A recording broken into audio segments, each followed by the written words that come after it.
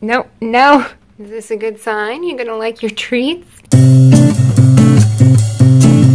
Hey guys, it's Jasmin, and today I'm so excited. I am going to show you how to make Puppy's favorite kitty snacks that I'm officially dubbing Kitty Crack because if you are to make it at home, for your feline fur baby or even for your dog fur baby because this is great for dogs too, then you will see exactly what I'm talking about. If you missed it on my Instagram or my Facebook page, this exact recipe was actually featured in this month's Bake It Up magazine, which you can get anywhere magazines are sold, and you can see it and have it written down right here. And no, that is not Puppy, obviously. Uh, his ego was a little bit hit by the fact that they went with a different kitty model, but I'm pretty sure he got over it once he got a handful of these snacks. First of all, if you are new to this channel and enjoy things having to do with cat stuff, and especially things having to do with raw cat food or cat nutrition and kitty care,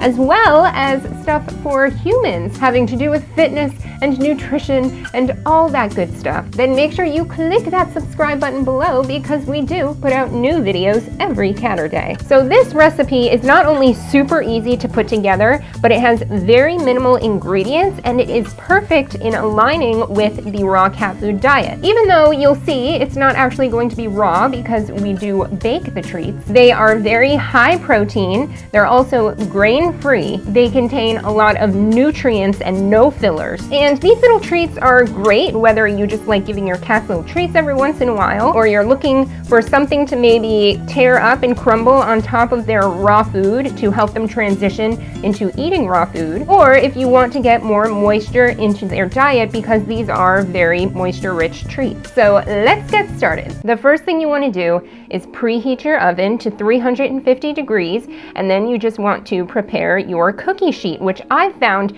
with this recipe, you might as well prepare two cookie sheets because this recipe makes so many treats as you will soon see. Now as for ingredients, all you are going to need is one pound of ground turkey, or you can even use chicken or beef. And for this recipe, because we are baking it and the meat is being cooked, if you get ground like this, that's okay, as opposed to with when you're preparing raw cat food, you never ever want to get pre-ground meat. Because since it is exposed to more air, once it is ground and especially pre-ground, it does have a likeliness to have more bad bacteria. But like I said, because we're baking this, it's okay and makes it a lot faster if you get pre-ground meat. Along with the turkey, you're just going to need one 3. Oh no, oh it's spilt right in the water. Okay, we're good. You're just going to need one 3.75 ounce can of sardines. Make sure they have no salt added and they are in water and not oil. You're also going to need two egg yolks. You're going to need one third of a cup of nutritional yeast flakes and these are great in this recipe. They are good for cats. They're full of B vitamins and some protein. But side tip, and I'm pretty sure I mentioned this in the transitioning your cats to raw food video, if your cat is being a picky, finicky eater and not touching his or her food, then you can sprinkle some nutritional yeast on the food and it works as a great tempter, if you will, to encourage your cat to eat his or her food. Along with that, we are going to add one tablespoon of your kitty's favorite catnip. And this may be the secret in what makes these kitty crack. And for those who didn't know, even though catnip is a stimulant for cats, it's actually a sedative for dogs and even humans. It is similar to valerian root tea or chamomile in the way that it helps us relax and somewhat sedates us. But for dogs, it acts similarly. So not only is this kitty crack for cats, these snacks are great for anxious dogs for you to help them potentially relax a little bit right before you leave the house or if a thunderstorm is coming around or whatever may cause their anxiety. So here's how easy this is to prepare. First thing you gotta do is just dump the sardines with all of their water into a bowl. Mash them up with a fork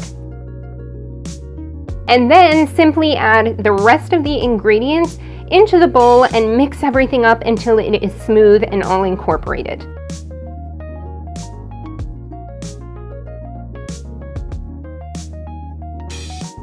By the way, you can also use a food processor if you have one and just toss all of these ingredients in and blend them up that way.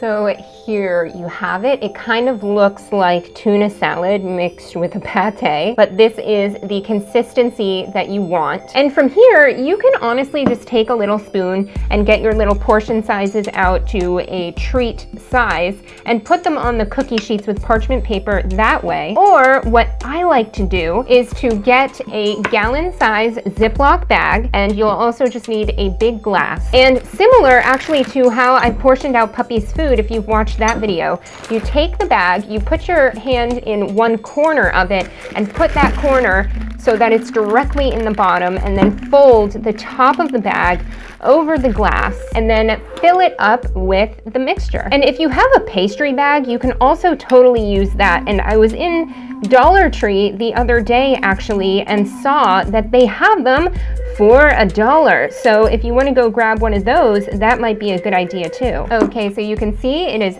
filled to the brim. Then all we do is take this out and you can see it's gathered to one corner. Take a pair of scissors and cut a very small hole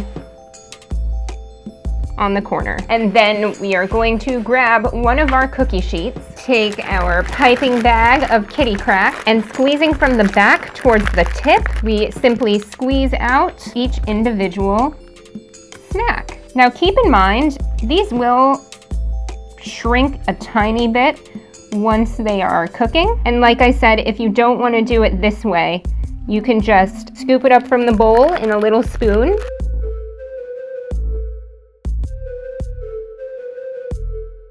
All right, guys, as you can see, I have filled up both cookie sheets and I still have enough left for probably at least another half to full cookie sheet. So I'm gonna go ahead and put these in the oven. You wanna set your timer for 20 minutes and you'll know they're finished when they're cooked through and no longer bubbling juice around the edges.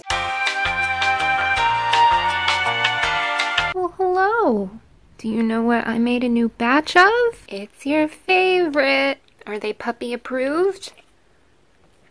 Of course they are. All right, guys, and there you have it. That is how to make these amazing kitty crack cat snacks that dogs will love just as much. And believe it or not, you can eat them if you want. These are good for humans too. Just don't be surprised if they have a Thanksgiving-esque sedative effect if you use ground turkey especially, and because of the catnip that is in these treats. And just a heads up for anybody who may have been thinking this, these are not a suitable replacement for actual cat food. These are just treats, and as for how these will keep, you definitely want to put them in an airtight container such as this one, and you do have to keep them refrigerated, in which case they will be good in the refrigerator for two weeks and if you choose to freeze some instead of giving them away to kitty people friends, then you can also keep them in the freezer for three to five months. Just make sure to thaw them out before you give them to your kitty. Look who it is!